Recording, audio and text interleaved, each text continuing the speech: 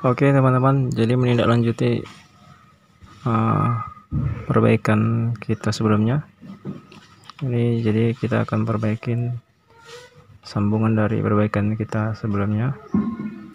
Ini gambarnya membesar dan sepertinya melengkung ya.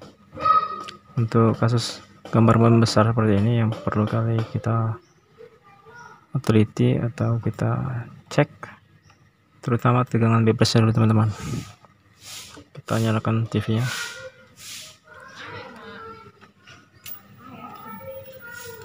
nah ini normal ya 115 jadi untuk tegangan bebas aman. Jadi nggak perlu lagi kita cek di rangkaian feedbacknya untuk penstabil tegangan B karena tegangan B sudah normal namun jika diukur tegangannya mungkin over sedikit over ya mungkin jadi 135 atau 140 maka kerusakannya bisa disebabkan di bagian rangkaian feedback uh, B plusnya jadi kerusakannya seperti ini yang perlu kali kita teliti adalah di bagian rangkaian IO ini teman-teman ya. Horizontal IO jadi langkahnya apa saja? Ikuti terus tutorialnya sampai habis Untuk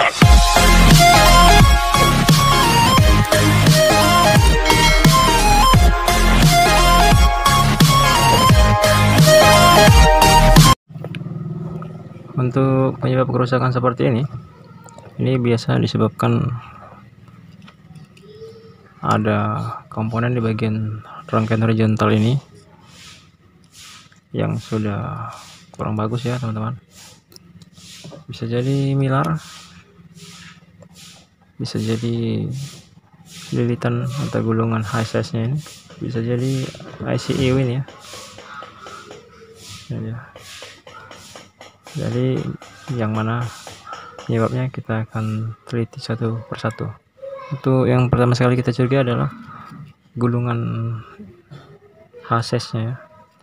Untuk mengetahuinya langkahnya adalah dengan melangsungkan seperti ini. Ya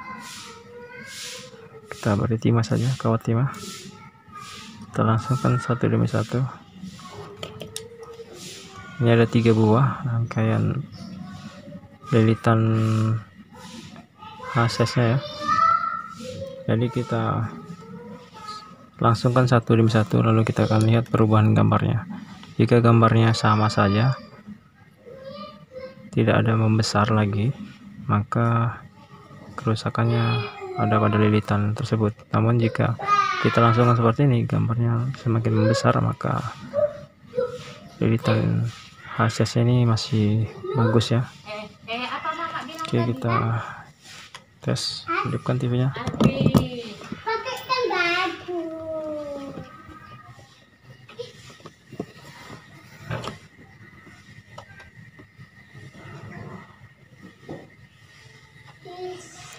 trans 7 nya R nya di pinggir ya teman-teman. Ingat. Lalu kita lepas dan kita hidupkan lagi. Apakah masih sama.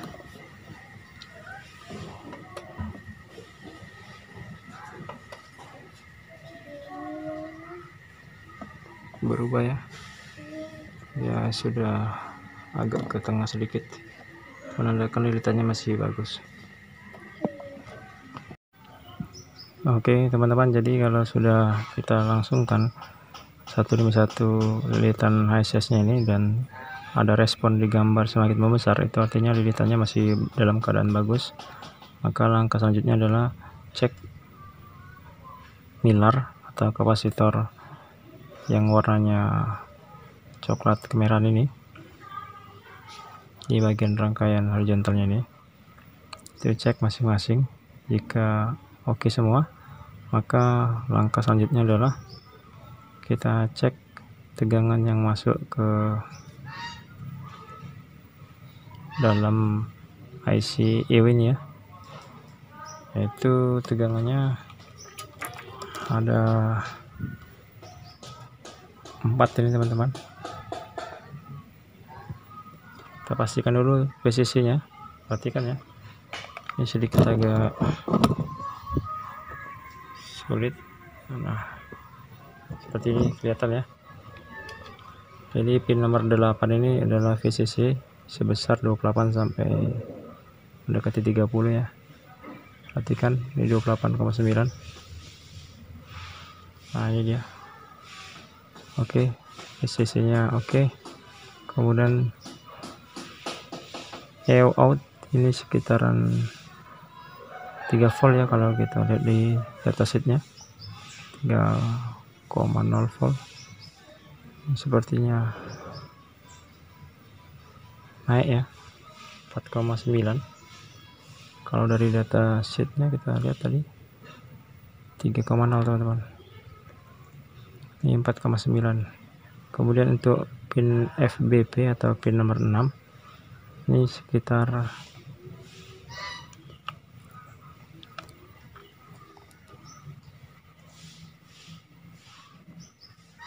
2,8 ya.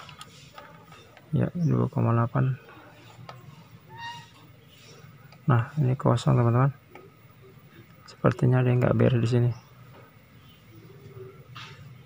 Tidak ada nol ya kemudian tuh yield in nya 3,2 atau 3,1 bisa teman-teman ya.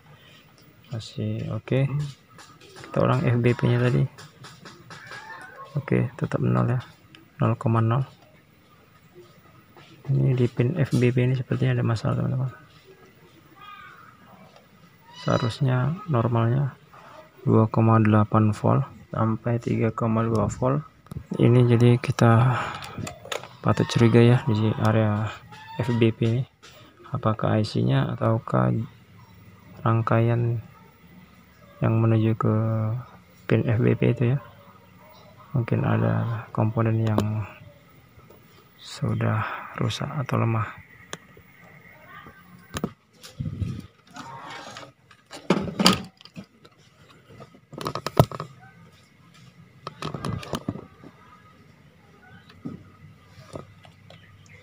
langkah yang pertama untuk melihat kerusakan apa saja di bagian ICU ini.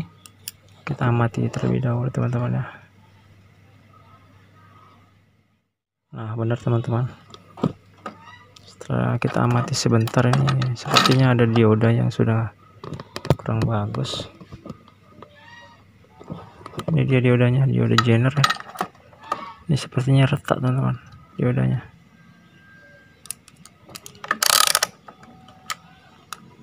kita gunakan skala kali satu. Nah probe merah di kutub katodanya sudah tidak naik teman-teman. Probe hitamnya di kutub anoda ya seharusnya nih kalau masih bagus naik.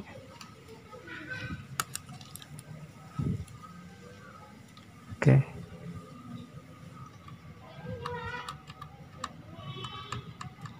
Ternyata sudah tidak naik teman-teman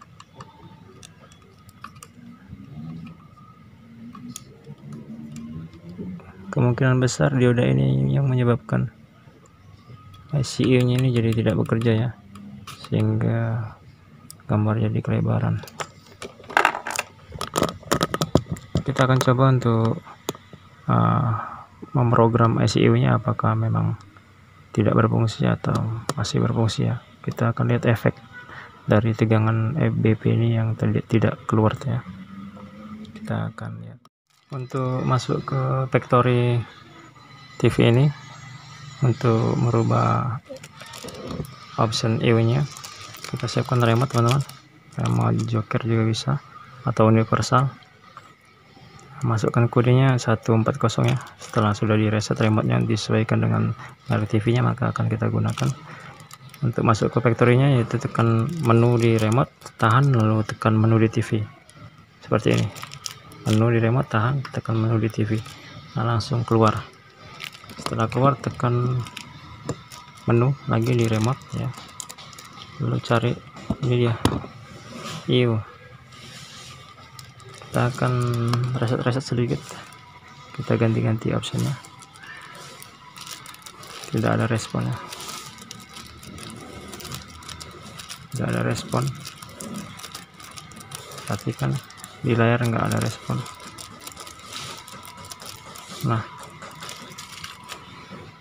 Itu disebabkan karena ICU nya tadi tidak bekerja yang diakibatkan tegangan di pin FBP nya tadi tidak ada ya. Jadi ICU nya tidak bekerja. Nah, kita lihat saja diodanya kita akan ganti. Dan kita lihat apakah ICU, ICU nya masih dalam keadaan baik atau juga ikut rusak?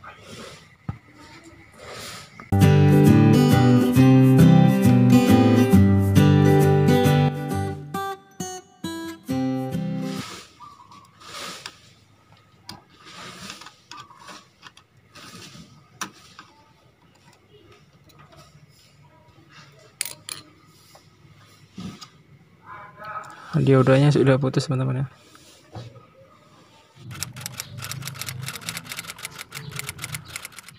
jadi nanti kita akan ganti saja dengan dioda jener in 4148 ya. Karena untuk tegangannya ini 2,8 jadi nanti kita masukkan saja dia udah jener 4148 karena untuk ICU yang model TDA 8145 biasanya kalau untuk di pin FBP nya ini menggunakan diode jener 4148 teman-teman. Kalau ini karena sudah putus kita nggak tahu ya. Kita akan masukkan saja diode jener in 4148 nah jadi ini udah genernya in 4148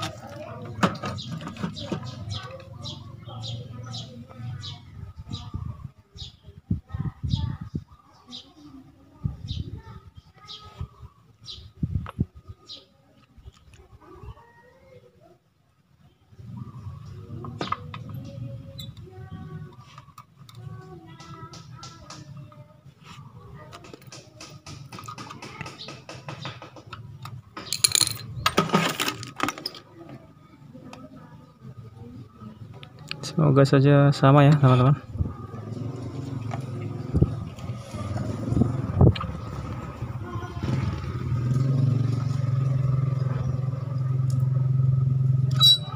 Nah sudah selesai.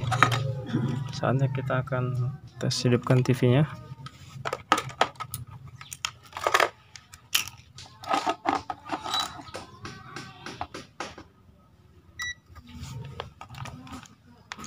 kita lihat apakah di pin FBP nya sudah muncul tegangan 2,8 nya.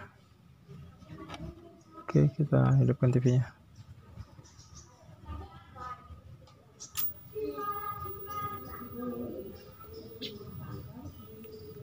Oke sudah keluar sekitar sekitar 3 3 volt ya. 3,1 volt kita akan cek gambar.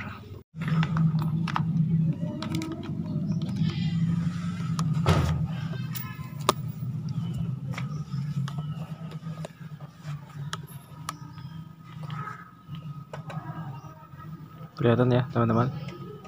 Sepertinya perbaikan kita sudah membuahkan hasil.